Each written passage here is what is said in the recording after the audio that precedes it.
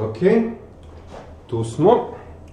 Dakle, gde smo bili na prošlom času, samo kratko da vas vratim. Ustanovili smo da problem nastaje zbog toga što se u karakteristikama elementa pojavljuje, dakle, problem rešavanja nelinearnih kola, odnosno problem nelinearnih kola ne nastaje u Kirchhoffovom zakonu za struje, ne nastaje u Kirchhoffovom zakonu za napone, pošto su oni linearni.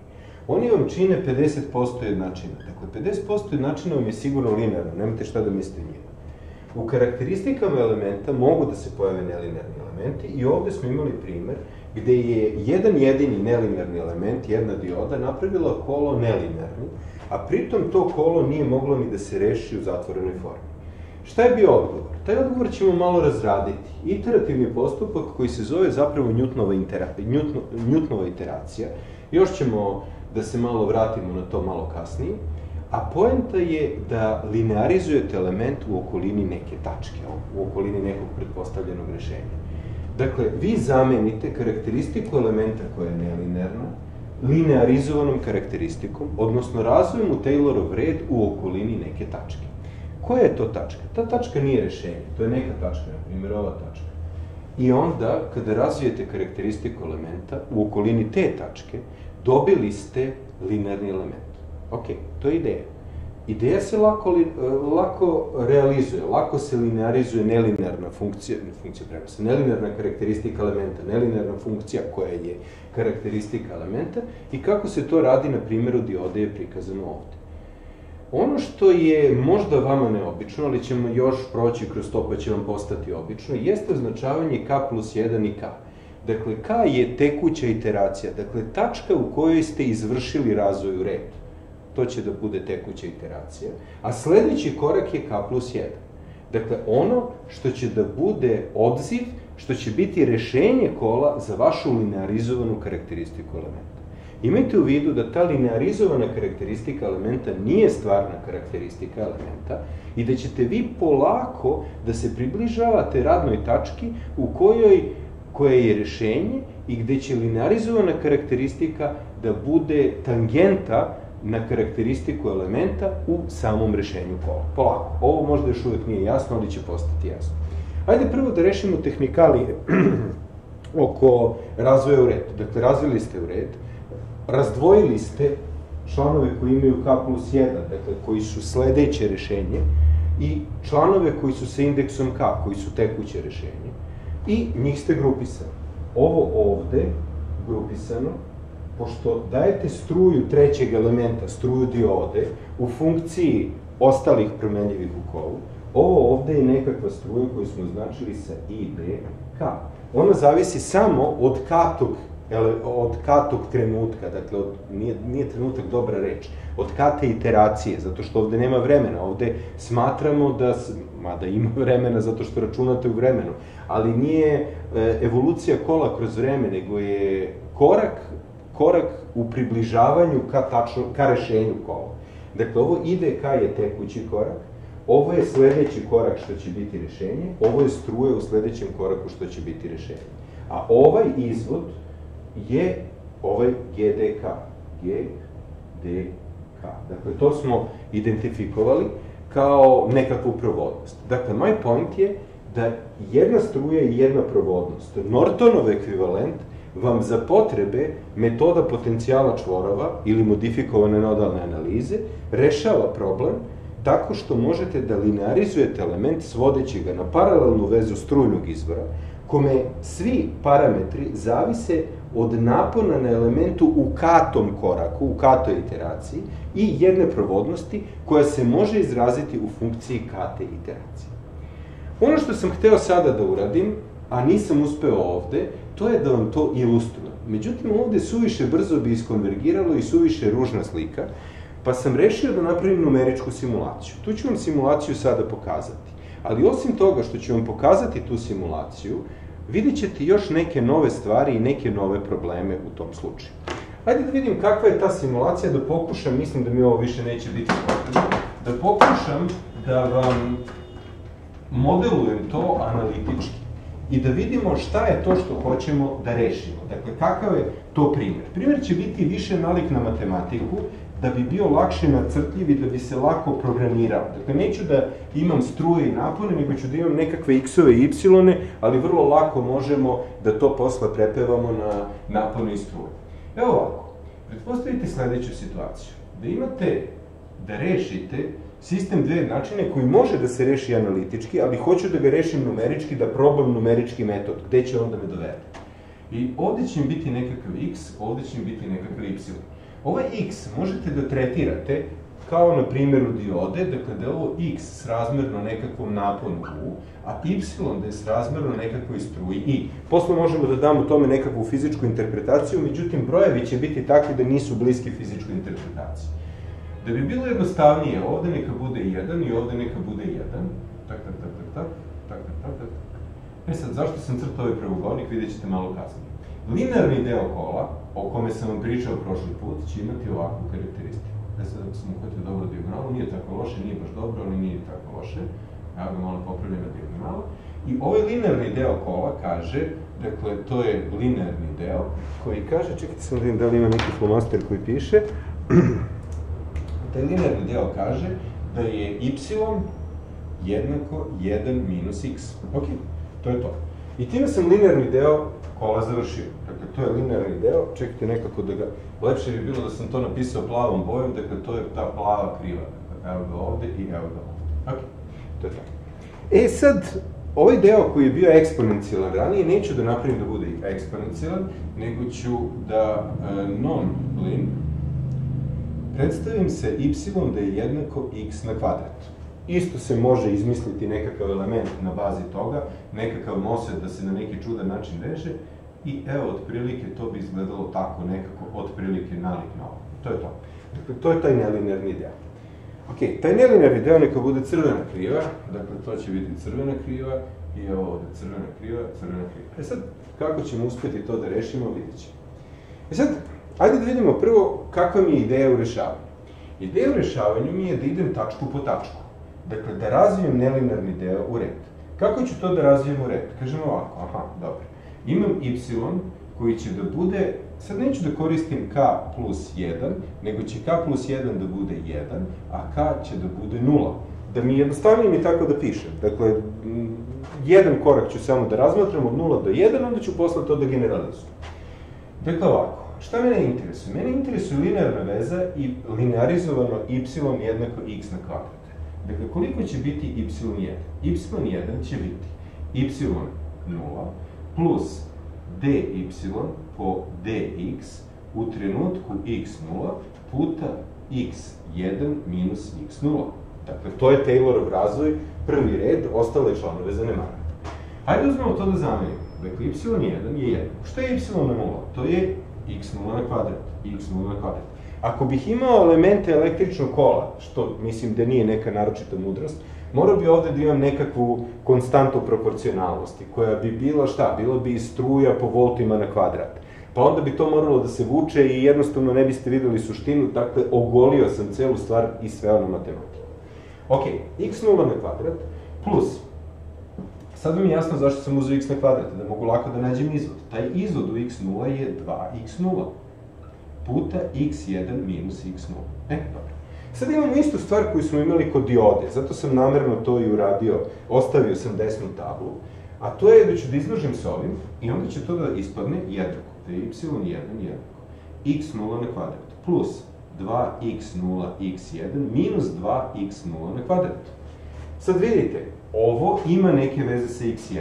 Dakle, to je ono što će odgovarati, da kažem, ovoj provodnosti. Za razliku od ovoga 2x0 na kvadrat i ovog x0 na kvadrat, što je neki konstantan za datu iteraciju član, nema nikakve veze sa x1. Dakle, y1 će biti jednako, čemu će to biti jednako? To će biti jednako x0 na kvadrat minus 2x0 na kvadrat, to je minus x0 na kvadrat, plus 2x0 x1. I to je to. Dakle, ovo je moja linearizovana karakteristika nelinarnog elementa. S druge strane, šta smo imali sa plavom jednačinom? Evo je plava jednačina. Plava jednačina kaže y je jednako 1 minus x. Jel ima tu nekakvog razvijanja u red? Nema nikakvog. Jel se ono menja od 1 do 0 do... Ne, ne menja se, uvek ostaje isto. Prema tome, tu vam je y1 jednako 1 minus x1. Potpuno isto kao što mi y0 bilo jednako 1 minus x0. Dakle, nema nikakve promene, ništa se ne menja, ne vrši se nikakva linearizacija koja je zavisna od tačke u kojoj se linearizacija vrši. Kako vidite da je zavisno od tačke? Evo ga ovde, u 3K, u 3K i jel ovde ima još jedno u 3K? Ima. Dakle, taj u 3K, on vam je tačka u kojoj se linearizacija vrši. Pošto ovde nema linearizacije, karakteristika je potpuno nezavisna od linearizacijone tačke i ovu gornju mogu da brišem jer mi ne treba. Zašto mi ne treba? Jer me uopšte ne interesuje šta je bilo u x0. Mene interesuje šta će biti u 1, dakle u mestu 1. Ok, y1, y1. Sada ide ono što će biti rešavanje kola. Dakle, ovaj korak sada je ekvivalent kad recimo imate t y je jednako z ili m, modifikovana nodalna analiza, pa ne znam kako sam označavao vektor, onaj potencijali čvorova plus dodate struje, neka bude y, da je jednako z. Dakle, neki od sistema jednačina se rešava sada. Dakle, ovo što sad radim, dakle, ovo je pripremni korak pre toga bio, i sada radim rešavanje kola. Šta znači rešavanje kola? Pa y1 jednako y1, dakle, ja nalazim presečnu tačku. Koja je ta presečna tačka? Neću da crtam još. Dakle, y1 jednako y1, dakle, minus x0 na kvadrat, plus 2x0 x1 je jednako y1, 1 minus x1. Ok, šta mene interesuje? Mene interesuje x1. Ok, ajde vidimo kako ćemo to da dobijemo. Dakle, jedinica, dakle, šta ćemo da radimo? Ovo x1 ću da prebacim na desnu stranu. Dakle, imat ću 2x0 x1 plus x1 je jednako 1 plus x0 na kvadrat. Jel tako? Dobro. Odnosno, imam da je x1 pred zagradom od 2x0 plus 1 jednako 1, li plus x0 koji jeste, 1 plus x0 na kvadrat, 1 plus x0 na kvadrat. Ako sam tako ukucao program, sad ćemo da vidimo. Odnosno, dobijem da je x1 jednako 1 plus x0 na kvadrat sa 1 plus 2x0. Ok, to je to. I sada, koji je put? Put je da od x0 koje sam pretpostavio dobijem x1 od njega ću da dobijem x2, od njega ću da dobijem x3 i ja se nadam da će to da konvergira ka rešenju. Međutim, ovde sam imao srećnu okolnost, a ta srećna okolnost je da ja mogu da rešim ovo closed form. Ako bih to rešavao closed form, dobit ću kvadratnu jednačinu koja je vama poznata iz oscilatora sa Vinovim mostom, jer je tamo neka takva jednačina čini mi se bila. I šta će ona reći? Ona će reći, ako nisam napravio ovde neku računsku grešku, moram da proverim šta sam unosio tamo, ali o tom potom. Dakle, imam da je x na kvadrat jednako 1 minus x, odnosno da je x na kvadrat plus x minus 1 jednako 0, odnosno x1, 2 je jednako minus 1 polovina plus minus koren iz b pola na kvadrat, to je 1 četvrtina, da ovde piše plus minus, evo ga, minus AC, znači to je plus 1, što je jednako minus 1 polovina, plus minus, ovo će biti koren iz 5, koren iz 5 sa 2. Odakle dobijate dva rešenja? x1 će biti, neka bude sa plusom x1, dakle to će biti koren iz 5 minus 1, koren iz 5 minus 1 sa 2, dakle to je prvo rešenje. I imaće drugo rešenje koje ćemo probati da dobijemo, koje je e, minus 1 plus koren iz 5 sa 2. Dakle, to su dva rešenja koje imam ali ja neću da ih na ovaj način dobijam, dakle, koji je logičan, normalan, nego koristim ovaj primer da ispitam, da vidim kako mi iterativni postupak radi, kako on funkcioniše u praksi. Ok, ja sad verovatno nisam ni uključio vreme, merenje vremena, samo sekundar, naravno, potpuno sam u pravu. A, idemo sada na računar, dakle da vam pokažem šta sam uprogramirao i šta hoćemo da pokažemo sa tim. Ok. Moram sada da promenim prozor, excuse me, dakle prozor, prozor, evo ga prozor, aha, samo što me ne interesuje za početak to, nego će mi interesovati prozor koji će da bude, čekajte samo da vidim gde, gde mi se nalazi izbor prozora koji prikazujem. Samo sekund, samo sekund, samo sekund, aha, evo nas, dobro je, e, evo. E, ovo je sada dosta važno, Jeste, izgleda da sam utrefio kako treba. Samo sekund, da se ja prebacim u taj prozor da vidim šta pokazujem. Ja se nadam da vi sad vidite ono što ja vidim. Ovo može da se poveća, ovo ne može da se poveća, ne spada u one divne editore koje možete da povećate veličinu slova na koliko hoćete. Dakle, ovo je GNOG program se zove x1.n. Dakle, on mi računa sledeću vrednost x-a u iterativnom postupku. I definišem funkciju y je jednako x1 od x0. Dakle, kako mi preslikava x0 na x1. I y je 1 plus x0 na kvadrat, ja sam to i napisao, sa 1 plus 2x0. Dakle, nisam napravio nikakvu grešku u izvođenju na tabli, dakle, to je to što sam probao. Dakle, to je funkcija koja je definisana. Sledeći korak je da ja pređem u drugi prozor, ja ću sad ovde taj prozor da povećam. Evo ga. Hop, hop, hop, hop, hop. Čekaj, ovako. Kontrol. Ovo obrišem, što se buni. Sekund, moram prvo da prebacim prozor kod vas, excuse me, ovde ja sam scenario, režija, montaža i sve ostalo. Samo sekund, idemo na Octave. Evo, Octave. Dakle, to je 48. korak, dakle, očigledno sam nešto već radio. I evo na tom prozoru. Dakle, imam funkciju koju sam uneo i sad kažem ovako, x neka mi bude početna vrednost da je jednako 0, ok? To je to. Onda sledeći korak je, x će da mi bude jednak, čemu? Neka mi x bude jednak x1 od x. Dakle, to mi je iterativni postupak. Da? I dobio sam jedinicu. Aha, dobro. To je prilično logično, postoje ću to pokušati da nazvam. Onda sledeći korak je da opet x bude x1 od x. Dakle, ja sad prelazim sa prethodnog na sledeći. Obično ne pamtite sve te korake, nego pamtite samo onaj poslednji koji vam je najvažniji. I evo to je dve trećine. Sledeći korak je ovako nešto, nekih 0,62. Hop, 0, ups. Jel vidite da ovo prilično konvergira ka nečemu? Evo ga, Dakle, sad već vidite da imamo poklapanje na dosta, evo recimo, ove četiri cifre bi trebalo već da imamo. Ajde, idemo dalje. Ok, sad su se već dosta cifara se poklapa, 49, dakle ovih poslednje. Poslednje dve cifre samo se ne poklapaju. 48, 48, 48 i to se ustavilo. I to je to. Ok, koliko je egzaktno rešenje? Egzaktno rešenje je x egzaktno je jednako x egzaktno je uh, koren iz 5 minus 1, dakle SQRT od 5 minus 1, pa sve to kroz 2. Je to. Dakle, da li se oni slažu? Pogledajte, slaganje je prilično, međutim, postoji malo neslaganje na poslednjoj cifri. Ok, koliko je x minus xe? Dakle, minus 1.11 puta 10 na minus 16. I ovo vam za neku potrebu u elektronici, ako su u pitanju neki volti i amperi, 10 na minus 16 vam obično ne znači ništa.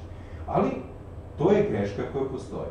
Hajde vidimo da li možemo da se približimo boljem rešenju sa ovim iterativnim postupkom, tako što ćemo da vrtimo iterativni postupak dalje. Evo ga, x je jednako x1 od x još jedno, pa još jedno, pa još jedno, pa još jedno, pa još jedno. Kao što vidite, ona 49-ka se više na kraju ne pojavlja nikad. Hajde vidimo koliko je sada x minus xe. Ups, 2, 3, 2, 2, 3, 5, 7 na kraju, x minus x je 5, 7 na kraju. Ono što vidite, to je da mi nismo uspeli da postignemo ništa bolje. Dakle, maksimum koji smo dobili tačnosti je ono gde smo mi iskonvergirali. I egzaktna računica koja je sprovedena numerički, kroz kvalitetne numeričke algoritme koje je implementirao Octave, vam daje jedan rezultat, Vaša aproksimacija koja bi trebala da iskonvergira ka istom rezultatu, konvergira ka nekom rezultatu, ali ne ka istom rezultatu. I to je to. Kako znate da ste iskonvergirali? Znate da ste iskonvergirali tako što vam se broj, dakle ovaj x kako vrtite iteraciju, više ne menja. Stalno dobijate isti broj. Broj se preslikava sam u sebe. Ovo će nam biti dosta važna stvar za dalje tog naše priče. Sad ću se vratim na ekran, dakle da snimam sebe, da pokušam da vam nacrtam kako je iterativni proces išao i da pokušamo da to a, razumemo u kontekstu fizike, odnosno u kontekstu električnih kola. Evo ga, to je to, pogodio sam kako se pribacuje na ekran. Dakle, kako je izgledala iteracija? Ajde da vidimo sad šta imamo od boja raspoloživo. Ajde da vidimo svetlo-plava boja. Svetlo-plava, ne. Ajde da počnemo sa crvenom, zato što je crveno već zamrljeno ovde. Dakle, počeo sam sa nulom. Setite se da sam od nule išao na ovu stranu, dakle, ovo je bila tangenta, dakle, ovo je bila prva linearizacija. Prva linearizacija je rekla, imaš tangentu, pošto je ovo kvadratna funkcija, ta tangenta, ups, ovde mi se presekla i dobio sam 1. Ok, to je u redu. Onda je sledeći korak, dakle, to je prvo rešenje. Moje prvo rešenje, dakle, ovo ovde je bilo x0, ovo ovde će biti x1. Da vidimo šta se događa dalje. Onda ću da razvijem moju funkciju, ne funkciju prenosa, nego moju e, karakteristiku elementa koja je nelinearna funkcija, nju ću da razvijem u red u x1. Taj razvoj u red u x1 izgleda ovako. Evo ovako. I ovde u preseku sam dobio tačku koja je x2. Dakle, ovo ovde je x2. Ok, šta je sledeći korak? Sledeći korak je da razvijem funkciju red u x2. Dakle, ako je to x2, dakle, to je tačka koja odgovara x2. Mislim, jasno je da je to koordinata te tačke x2 i y2. Samo pitanje šta je taj y2. Taj y2 je na drugoj linearizaciji. Dakle, to nije na to nije x2 na kvadrat, nego nešto drugo. To se nalazi na vašoj pravoj, odnosno na linearnom delu kola, to je rešenje linearizovanog kola. Linearni deo je ok, linearizovani nije ok, ne odgovara karakteristici elementa.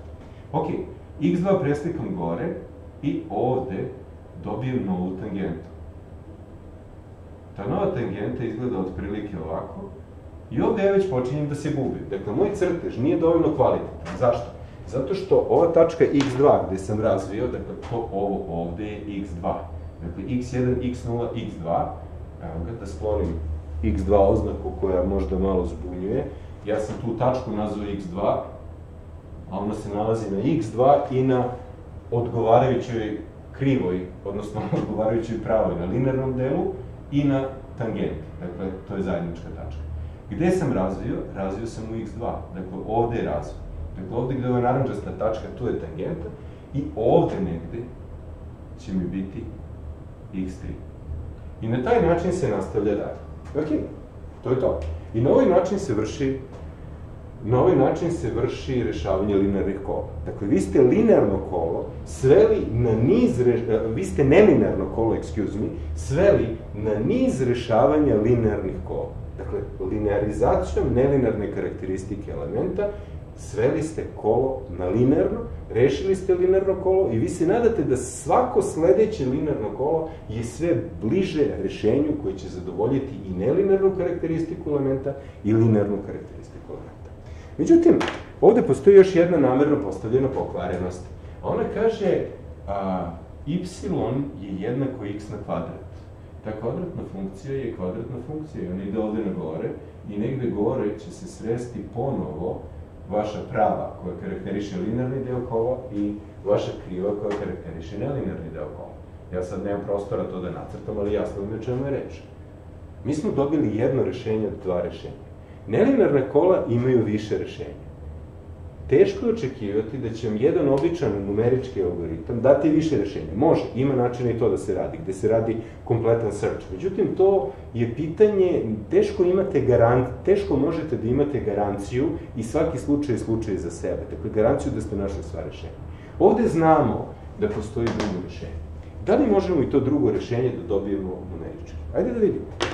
Dakle, u čemu je problem? Mi smo iskonvergirali ka ovom rešenju zato što smo imali dobar početni uslov. Početni uslov 0 je bio dobar zato što je preslikao na 1 i onda smo niz pozitivan nagib se spuštali ka našem rešenju. Ajde sada da se ja vratim ponovo na prozor, na Octave i da uradim jedan Ctrl L, sad čekajte samo da se ja prebacim, evo Ctrl L, i dobro, što je sada? Sad ću da promenim početni uslov, stavit ću da je x jednako minus 1, ok?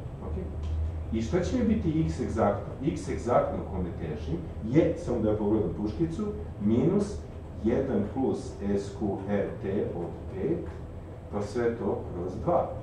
Ok, to je nekih minus 1,61, ok? Sounds good, dakle to zvuči normalno. A, sad postavlja se pitanje šta je dobro da bude vaš početni uslov.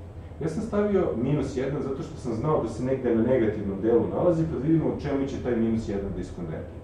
Taj minus 1 će da iskonvergira na sledeći način. Kako kažemo, x je jednako x1 od x. Minus 2. Aha, minus 1 se praslikalo u minus 2. Prilično sam siguran kad sam ogradio da ću da iskonvergiram. Minus 1, 66, minus 1, 2 trećine. Evo ga. Evo ga, već vidite da prilično konvergira. Evo, već imamo sigurne 3, 4 cifre. Evo ga. I sad ovo, evo, gotovo. Kao što vidite, ova dva broja se poklapaju. Ajde vidimo što kaže x minus xe. Ups, nula. Pogledajte, ovde vam je numerika dovoljno dobra da upadnete ispod mašinskog epsilona, dakle ispod mašinske greške i vi imate rezultat kao tačan ste dobili. Dakle, ono što ste dobili kroz kvalitetan uh, Octave-ov algoritam i moje numeričko rešenje su se poklopili i imate potpunu konvergenciju. Ovo ponekad funkcioniše. Nisam očekivao da će se ovde to desiti, jer u prethodnom slučaju se nije desilo. Međutim, može da se desi. Što je komplikovanije kolo, toliko je manja verovatnoća da će ovako nešto da mi se desi. Naravno, postoji da se pitanje, a od čega zavisi prema kom rešenju kad imamo više rešenja konvergije? Od početnog uslova. A taj početni uslov, to početno rešenje, možda je, da kažemo ovako, da kažem da je x jednako minus 0.0000001. Ok? Gde ste minus 6, dobro je. A da vidimo što će sada da bude, kako će sada da ide iteracija. Da li će ono da iskonvergira na negativnu stranu? Ok, prva. Pogledajte šta se događa sada. Mi konvergiramo ka starom rešenju. Dakle, ja sam počeo sa nekim malim negativnim brojem, međutim, rezultat je da to još uvek nije odvuklo nas na negativnu stranu. Šta možete da radite u ovakvim situacijama? Možete da probate. Da kažete ovako, da x nije toliko, da kaže minus 0,1 šta će da bude sada? Hop. Pogledajte, opet konvergiramo na pozitivnu stranu. Dakle, tu postoji, to se zove bazen atrakcije, dakle, postoji skup početnih uslova koji vas vode ka jednom rešenju. Kao što vidite, krajnje jednostavan problem, i krajnja komplikacija u numeričkom rešenju. Ok, sad mislim da sam ilustrovao šta se događa. Ono što sam želao da vam pokažem to je da mi ocenimo da smo iskonvergirali tako što prestane da nam se menja rešenje. Dakle, rešenje se ustali koje dobijamo. I to će nam biti osnov za definisanje kriterijuma konvergencije ka rešenju. Čekajte sam da vidim kako stojim sa vremenom, koliko sam potrošio, iz 27 minuta. Ok, dobro. Sekund samo da ja ipak uključim štotericu. Klik, klik, baš. E, nema se. dakle, a, videli ste primer i videli ste problem kako od početnog uslova, od početnog rešenja zavisi koje ćete rešenje da dobijete.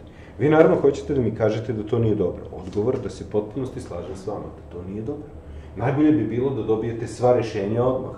Međutim, imajući u vidu da nismo stavili nikakve ograničenja na tip nelinearnih elemenata, na njihove međusobne veze, ovo je, nažalost, najbolje što možemo da. I problem konvergencije, da li uopšte ima, i problem ka kom rešenju vi konvergirate je vrlo veliki problem određivanja DC operating. Sad sam baš našao neki rad Ljilje Trajković spremajući ovaj čas iz neke godine, neke godine, neke godine, kada je to Ljilja pisala, o homotopijama, 93. godine, dakle, ona je naš veliki stručnjak, ona u penziji sada, bila u Americi i Kanadi na temu um, toga i evo pogledajte, 93. godine rad Artificial Parameter Homotopy Methods for the DC Operating Point Problem. Dakle, to je taj rad. Dakle, kao što vidite, a, naučno je to bio problem 93. godine. Naravno, ni do danas nije to rešeno kompletno i pitanje je da li uopšte postoji rešenje koje je večito i koje je kompletno rešenje. Ok. Dakle, ovo je bio primer Možda je malo teži za vas koji možda niste imali iskustva sa numeričkom matematikom i sa numeričkom analizom. Ali hteo sam da vam pokažem problem konvergencije, dakle početnog uslova i konvergencije ka rešenju, i hteo sam da vam pokažem problem numeričke greške. Imate čak i varijantu numeričkih oscilacija da vam se ne da vam se ne ustali nikada na jednoj tački, nego da vam jedna tačka preslika u drugu, a druga preslika u prvu, ili da takvih tačaka ima više. Tako da to nije u opštem slučaju jednostavan problem. Ok, šta je ono što moramo sada da uradimo i što je malkice dosadno? A to je da formalizujemo ovo izvođenje za nelinearne elemente. To će biti sad jedan dosadan deo, ne kažem ni da je ovo prethodno bilo interesantno, ali to je nešto što moramo da uradimo iz formalnih razloga, pošto ćete imati domaće zadatke koji se tim bave. Dakle, šta ja sada želim? Ja sada pretpostavljam da imam naponom, element koji ima naponom kontrolisanu predstavljanje, koji ima neko i, koji je jednako f od u. Ok. Ja sad hoću formalno da vidim kako ću taj element da predstavim linearizaciju. Ok. Prva stvar, definišemo, ajde da ispuštujemo notaciju Larija Nagela, kata tačka. Razvijem u tački UK. Dakle, u tački UK razvijem. Dakle, i k plus 1 će mi biti f od u k plus df od du u tački UK, dakle da je U jednak UK, pa onda će biti još UK plus 1 minus UK. To je to. Dakle, K je kati korak, K plus 1 je K plus prvi korak. Ok. Sledeća stvar je, malo to grupišete, i K plus 1 je jednako. F od UK, to zavisi samo od UK. Dakle, kad znate kat i napon, linearizovali ste te. Pa onda ide minus df po du u tački UK puta UK. Ovo sve ćemo da zovemo veliko IK. Ok? Dakle, to je nekakva struja koja zavisi samo od napona UK, ne, ni od čega drugog. Možete da napišete IK od UK. A ovde će biti još plus df po du u tački UK, tako, puta u k plus 1. Pošto ovaj član pretvara naponu struju, on mora da bude provodnost gk i ona je funkcija od uk. U opštem slučaju funkcija od uk. I vi ste izvršili linearizaciju vašeg elementa tako što vaš element ima struju i k plus 1, ima napon na krajevima plus minus uk plus 1, ovde ima gk od uk, i ovde ima struju koja je IK od UK. I u svakom iterativnom ciklusu radite update ovog. Dakle, ovo je bila prva stvar. Druga stvar je, uradit ću samo jednom za dvoportne elemente, a vi ćete raditi dalje. Zašto? Zato što za dvoportne elemente imate puno različitih predstavljanja. Pa za svako predstavljanje može da se radi Jakobijan. Dakle, ne znam samo kako stojite sa matematikom više promenljivih, Dakle, se. sa analizom više promenjivih multivariabilnom analizom, bit će dovoljno čisto za potrebe ovog časa. Evo sad, na brzinu da to uradimo. Imate dvoportni element. Dvoportni element ima karakteristike elementa. Čekajte samo da ja kompletno promenim flomaster i da uzmem ovaj koji sam kupio e, za ovu nastavu. E, taj. Sad će biti najbolji štos kada pobrkam nove flomastere i stare flomastere. E, ok. Evo ga, i1 će biti jednako f od u1 u 2. A i2 će biti jednako g od u1 u 2. Ok, ovo je tajni flomaster, dakle vidi se da je novo. Ok, šta ćemo da uradimo? Evo ovako, i1 zapeta k plus 1 će biti jednako f od u1k u2k plus parcijalni izvod df od u1 u2 po d u1 u tački u1k u2k ok? Čekaj, ovako nisam ovo lepo napisao. U, u, ovde baš ima zapeta. to je U1 zapeta K, pa ovdje velika zapeta U2 zapeta K, puta U1 K plus 1 minus U1 zapeta K. Obećao sam da će biti dosadno i nadam se da neću izneveriti vaše očekivanje. Dakle, df od U1, U2, po parcijalno po du2, u tački u1 zapeta k, velika zapeta u2 zapeta k, pa će ovde da bude u2 k plus 1 minus u2 zapeta k. Ok? To je to. Važi. Ok. Sledeća stvar je i1 k plus 1. Grupišemo članove. Je. Prvi član je f od u1 k zapeta u2 zapeta k. Ok. Pa onda ide plus. Šta će ovo da bude? Ovo ćemo da definišemo kao, um, kako to da zovemo, to će biti nekakva provodnost, ta provodnost neka bude G1, I ona će biti od U1K, U2K, međutim ja ću to samo da označim G11 zapeta K. Ok? G11 zapeta K da je definisano na ovaj način. Naravno, ovo ovde isto će imati fizičku dimenziju prevodnosti, jer da je struju od napona, to će biti G12 zapeta K. Znači, bit će plus G11, G11 zapeta K, što množi, aha, nije plus, nego je minus, jer sam grupisao članove, dakle, ovde minus, puta U1K, U1 zapeta K, pa će biti minus G12, 1, 2 zapeta K, U2 zapeta K, pravda? I sad zatvorim. Ovo ovde će mi biti prvi član, prva nekakva struja i ta prva struja mogu da označim samo kao veliko I1 zapeta K. A onda imam još plus, plus, G11 zapeta K, U1 zapeta K plus 1, plus G12 zapeta K, U2 zapeta K plus 1. Ok, to je to.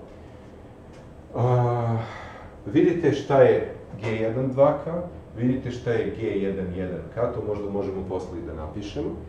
A my point je da sam predstavio I1 zapeta K plus 1 kao I1 zapeta K, dakle zavisi samo od napona na krajevima u katoj iteraciji, plus G11 zapeta K U1 zapeta K plus 1 plus G12 zapeta K U2 zapeta K plus 1.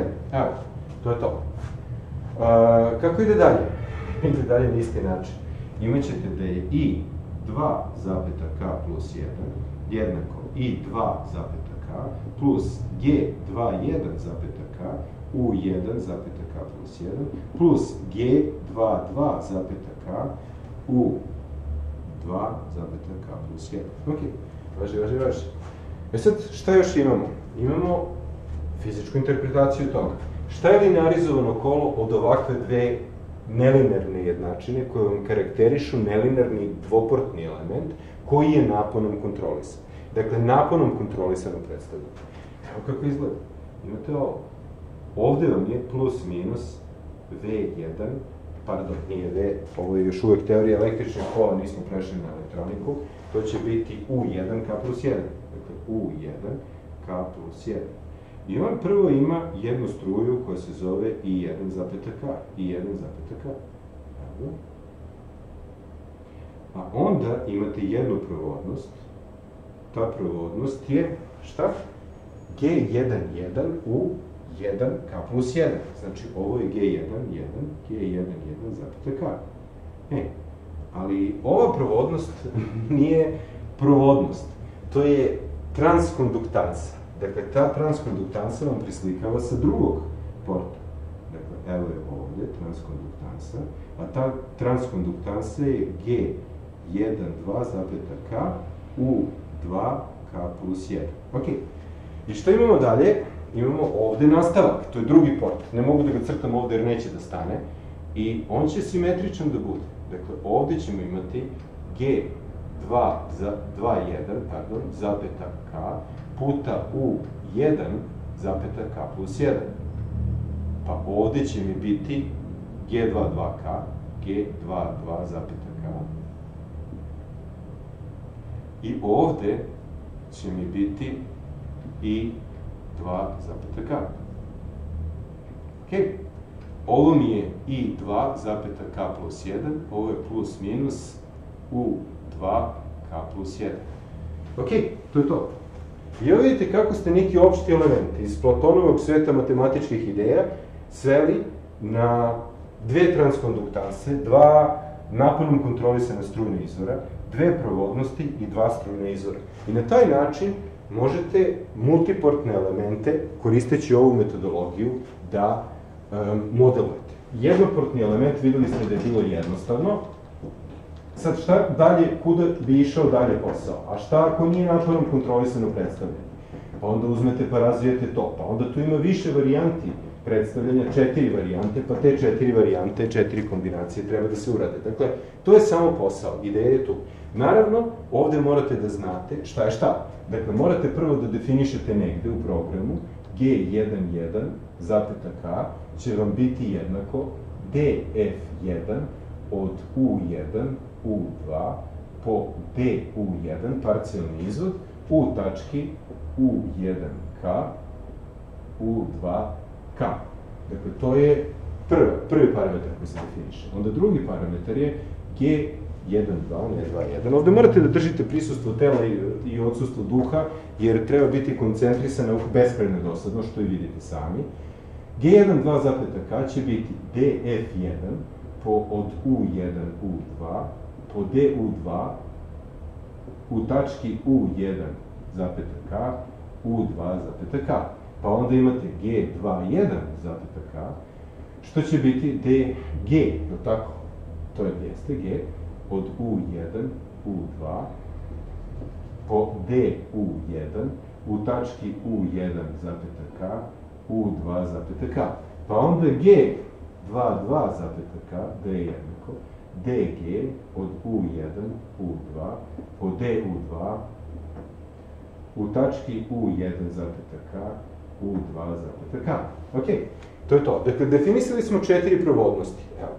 Te četiri provodnosti vam daju dve stvarne provodnosti i dve transkonduktacije. Onda su vam potrebni strujni izvori, a strujni izvori su I1, koji je jednak, F od U1 zapeta K, U2 zapeta K, minus G11 zapeta K, U1K, U1K, minus G12 zapeta K, U2 zapeta K. I onda I2 koji je jednako G od U1 zapeta K, U2 zapeta K, minus a, veliko G, aha, to nisam čak ni izveo jer sam smatrao potpuno nebitnim, pošto se na isti način izvodi, pa će biti ovde G21 zapeta K, njega smo izveli, jeste, U1 zapeta K, minus G22 zapeta K, U2 zapeta K. A? Šta kažete, ima posla? Pazite, dvoportni element. Za taj dvoportni element u svakoj iteraciji vi morate da uradite linearizaciju. Morate da izračunate ove geove, morate da izračunate i ove. Sa time punite modifikovanu nodalnu analizu i uradite sledeći korak. Ovo čovek da radi, nema šanse. Morate da uradite nekoliko ručno primjera jednostavnih. Onda morate da budete sigurni u programiranju, da ne napravite hiljadu bagova, jer ovo da izdebagujete ako niste vični je problem. Ja sam to radio za doktorat, pa mi je jasno imam osjećaj za to. To se izgradi vremena, nije to big deal, nije to nikakva mudrost, ali treba vam malo vremena da se naviknete na to. Ali ovo vam daje jedan metod koji vam svodi rešavanje nelinarnih kola na nešto što vam je poznato. A to je rešavanje linearnih kola. Dakle, ovo je postupak linearizacije. Ova linearizacija je za slučaj naponom kontrolisanog dvoportnog elementa. Strujom kontrolisan dvoportni element. Parametri H, parametri koji ono behu dalje, e, G ili ne sećam se više kako su ih teoretičari kola zvali. Dakle, možete da ih zovete kako god hoćete. Dakle, imate kombinacije I1, I2, to je strujom kontrolisan, pa onda I1, U2, U1, I2 i ovaj slučaj koji sam ja uradio. Dakle, imate još tri slučaja koji mogu da se desi. Naravno, šta ćete da uradite? Vi ćete da birate elemente i kako birate elemente koje puštate u vaš simulator, za svaki od njih morate ovako nešto da izvedete. I to je to. I vi se uzdate da počnete sa nekom početnom tačkom i da će to iskonvergirati ka željenom rešenju. Videli ste na onom trivialnom primjeru kvadratne funkcije i linearne funkcije da izbor početne tačke, da ubodete ono negativno rešenje nije bio baš tako jednostavno. Kad sam počeo od minus 1 bilo je okej. Međutim, sa nekim brojevima koji su od minus 1 manji, ups, nastaje manji, veći po modulu manji, nastajao je problem. Dakle, čak i taj trivialni primjer može da se dosta detaljno analizira, da se vidi od koje granice konvergirate ka kome od dva rešenja. Ok, ja se izvinjam što je bilo dosadno, šta ćete, to je tako, takav je problem. Ovo je razvijeno pre 45 godina. E, doktoranti na Berkeley su to uradili. Dan danas sve radi tako. Dan danas je taj Spice osnov svega što se koristi u Cadence-u i ono što je napravljeno dodatno su unapređeni metodi konvergencije i unapređeni modeli komponenta. Ali ako nemate formalnu osnovu na kojoj možete da gradite, ne možete da napravite dobru i sigurnu simulaciju sa puno elemenata. Jer svaki od koraka koji vam čine simulator mora da bude vrlo čvrsto i vrlo sigurno urađen, da ne puca, da ne pravi gluposti, da nema bagove i tako dalje. Tako da, kao što vidite, prilično je složena stvar. Nije idejno složena, nego je organizacijono i implementacijono složena. Ok, malo duže, ali preživali ste.